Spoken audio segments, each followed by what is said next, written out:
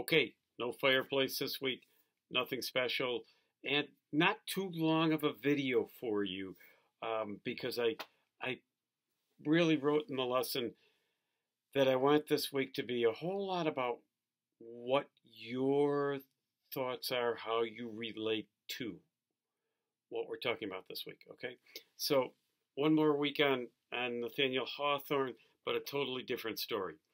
We're talking this week about the Minister's Black Veil, a Nathaniel Hawthorne short story. It is a powerful short story, as most of Hawthorne's things are.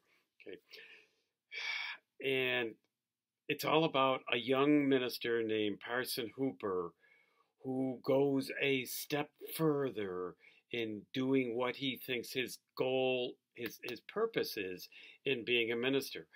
Obviously, his major purpose is to save the souls of his congregation.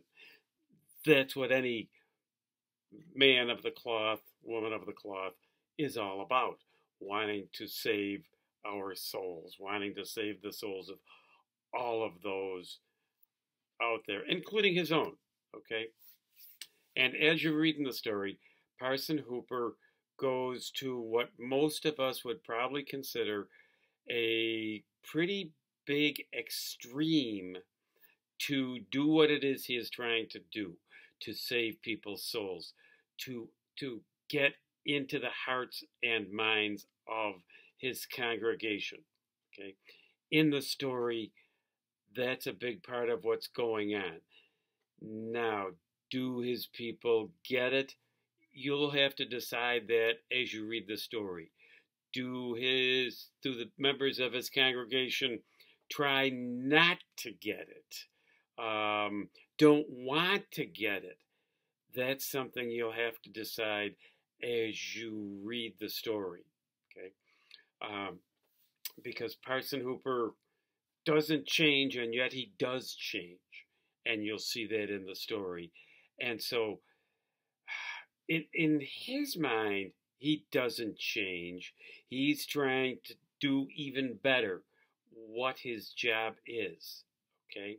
And I'm not going to go into the story. I'm not going to try to tell you what the story is about because it's it's a pretty self-explanatory story, but you do have to read it. It's a pretty potent story. So, he wants to get inside the minds, hearts, soul of all of his congregation he wants to do that not only with his congregation, well, that's where Parson Hooper is, but part of the question with all of this is does Hawthorne want to do that with each of us who encounter his story? Does he want each of us to search within ourselves um, based on what Parson Hooper does? Okay this is a piece of fiction, and in my lesson, I explained that yes, it's a piece of fiction, but really, fiction to some degree is. Uh, this isn't supposed to be a contrast in terms, but fiction to some degree is is almost always based on reality. Okay, maybe it's always based on some version of reality, even the way out stuff. Um, it becomes a reality, at least for the person who creates the narrator to tell us the story. Okay? So, um, in what Hawthorne is writing in The Minister's Black Veil, yes, he is delving into kind of the core of what Puritanism was all about, but to some degree, he's delving into the core of what all of us as human beings are all about. Hawthorne is a heavy duty guy, as I've said to you before. Okay, and you know I, I mentioned to you another in another video that Hawthorne um, really almost had to live a, a secluded kind of life as a kid because when his father died, his mother never got over it, and so she pretty much forced seclusion on her two children. Um, and so we get Nathaniel Hawthorne and his stories, obviously very intense stories, stories that have to do with more than just commonplace worldly things, but stories that really have to do with who we are, what we are, okay? But he's putting them, he's putting all of that into the lives of the Puritans, okay? And ironically, Hawthorne's sister became a Catholic nun, you know, so she obviously got a great deal into morality um, and to um, who she was and how she could share her life, live her life for others by becoming a Catholic nun. So um, that's that's what Hawthorne does. Now, you know, I give you an assignment where I ask you to to delve into the people that Parson Hooper is affecting directly. I also give you the option to say whether or not Parson Hooper, what Hawthorne writes, what Hawthorne's narrator creates in the person of Parson Hooper, if that affects you as a reader. Okay. In other words, are you able to make this fiction a little bit personal? Is is what's written here? Are you able to to bring that into yourself to make it a part of yourself? Okay. Does it affect you in any way? So that's if you want to.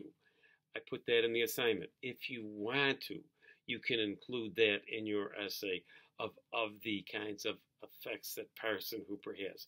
But as I pointed out in the essay, we're not looking for you to tell us things from your personal life. We're not looking for that at all. That's not what this is all about. We're looking to see if, in fact, um, the kinds of ideas that, that Hawthorne or an author like Hawthorne puts forth can a piece of fiction have a really potent effect on you as a reader okay? That's that's part of what we're trying to do. Now all that being said this really will be our last shot at the short story. Um, next week we'll be moving to a different genre okay and you know as we're moving forward in the semester i mean obviously we're about two thirds of the way through now. I think this is week 10 and we only have 15. So, so that's two thirds, you know, but we have uh, other fish to fry going forward. So, um, anyway, um, you know, it, it's a good time for you to do some thinking about has anything that we've read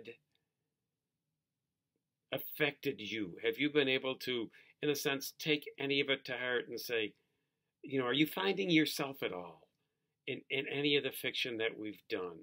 Or are the, uh, is this all completely detached? Um, and there's no right or wrong for that. I'm just hoping that because we see the experiences of lots of other characters, it can help us know a little more about ourselves and maybe a little bit more about about um, how we live. And you know we we, we kind of i mean our lives are framed by ourselves but they're also framed by other people like our parents for instance our friends our our school associates. Well are they framed at all by characters that you come across in fiction. So so that's really you know a thought process that i'm trying to move you into a little bit too is does this affect you as a person? If it doesn't that's not a bad thing you know it's just this is another effect that fiction can have on us. Okay, so um, you folks are, are just amazing. You're doing so well. I am so pleased with everything that I find week after week. You're all really doing a job.